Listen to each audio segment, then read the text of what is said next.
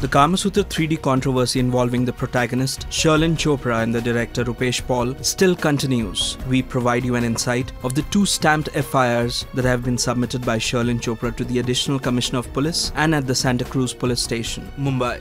Sherlyn Chopra's lawyer, Mr. Mahesh Vaswani, criminal advocate, and his associate, Ms. Dharini Nagda, are handling this case. The subject of the FIR is complaint about forgery, cheating, and outrage of modesty by one Mr. Rupesh Paul, the producer and director of Kamasutra 3D. I hereby complain against one Mr. Rupesh Paul, aged about 42 years, who has cheated me and induced me to sign a film contract by making a false document, which was supposedly a film contract but after having shot the film, he has refused to pay me my balance remuneration of rupees 7 lakhs only, which is due as per my film contract. The said producer, Mr. Paul, had approached me in October 2012 upon knowing that I had created history in India in July 2012 by having become the first Indian to have shot for a world famous magazine, the covers of which have been graced by Hollywood superstars such as Marilyn Monroe, Madonna, Sharon Stone, etc. etc.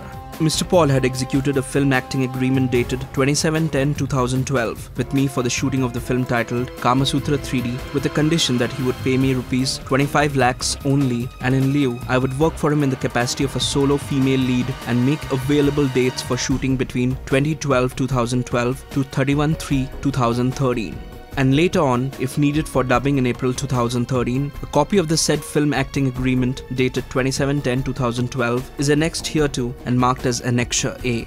I had shot for the film believing that I were the solo female lead in the film as per my contract and therefore compromised the total remuneration consideration in the said film contract as per clause number 2.6.4 where it clearly mentioned that I would be the solo female lead of the film and also agreed to shoot as per clause 4.6 which says the actor consents the producer to shoot her naked body in connection with the portrayal of the actor's role in the film on condition that no close-up shot of her genitals would be shot and or used in the performance.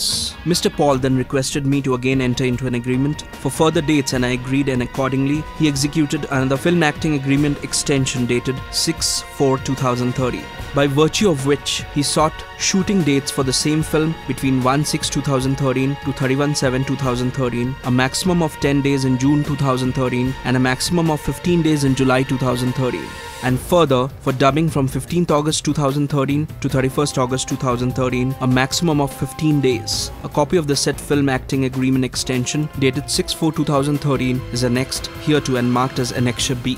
I had given Mr. Paul the dates required and acted as per his requirement for the film as per the aforementioned contract, details of which I can give at the time of the recording of my statement. During the shooting of the film, Mr. Paul had expressed his desire of wanting to have sex with me, and when I said to him that it was impossible as I was not at all interested in him sexually, he threatened to forfeit my balance remuneration and to replace me in the film and to use my nude film footage as a blue oblique porn film in global commercial porn market, where according to him there is a huge demand for such film footage oblique moving visuals with Indian faces. Mr. Rupesh Paul had threatened to teach me a lesson and to replace me with another girl who would not refuse to sleep with him. Mr. Paul also threatened to sell and peddle my nude film footage in the international porn markets, particularly in the Gulf and European countries. Besides the USA, which as per the contract of the film has been shot strictly for the feature film titled Kamasutra 3D and not meant for any other purpose. The said Mr. Rupesh Paul has also sent vulgar and obscene emails abusing me and assassinating my character to various media persons whose names I can furnish at the time of recording of my statement.